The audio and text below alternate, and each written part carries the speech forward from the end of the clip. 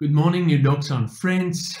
It's Monday, 5 of July. We're in the middle of the winter and we are busy with our series Geared.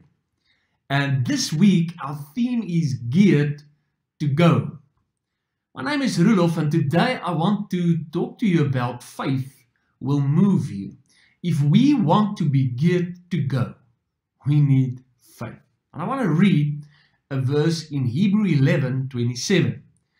It says, and it speaks about Moses, it says, By faith he forsook Egypt, not fearing the wrath of the king, for he endured as one that sees the invisible. I want to say something faith will always move you.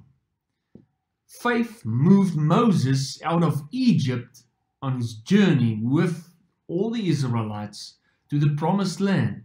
If we think of Abram, faith moved him from where from his hometown to the place God promised. It moved Abram to Moriah, where he offered his firstborn.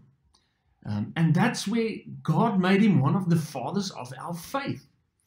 If we think of Noah, faith moved him to build an ark. And I believe more than ever, you and I need to know that we need to move, we need to go. There are so many things that God can ask us to do, places that He can ask us to go. Maybe you need to go to someone who is in sorrow today due to the death of a loved one. And maybe you thought, Lord, what will I say? It's not important. God just say, go, go love the people. Maybe you need to go and reconcile with someone. Maybe you need to go and spread the gospel somewhere at, at your work. Maybe you need to go and tell your faith stories and share with other people what God has done in your life. Whatever you need to do today to be geared to go, you will need faith. Yes, you will feel uncertain. You will wonder, what will I say? How will it play out? It's not important. Faith says, I'll go in faith. One of our missionaries, and I want to close with this story, Erika Pretorius, told me her story, how she got to um, Russia. God called her to spread the gospel in Russia. That's about 20 to 25 years ago.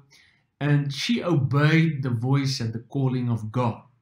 But she only had money to buy a ticket to get from Russia back to South Africa and a ticket and money to buy a ticket up until at Spain and a few bucks in her pocket.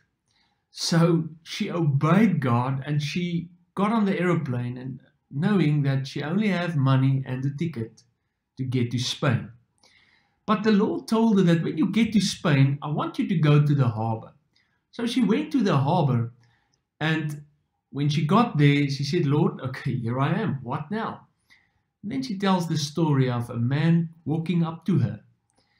Uh, she didn't know this man, but this man told her, Lady, I saw you in a dream, and God wants me to help you. And in that way, she got the ticket for the rest of the way to Russia. I want to I tell you this story to illustrate the principle if we want to be geared to go, we need faith. We need to trust God. Where do you need to go today? Who do you need to call today? What do you need to do today? May God truly bless you. May He lead you. Let's pray. Dear Lord Jesus, I pray that we will have the courage and the faith to obey when you call and when you send us. Help us to go faithfully. In Jesus' name. Amen. Thank you for watching, for being tuned in. God bless.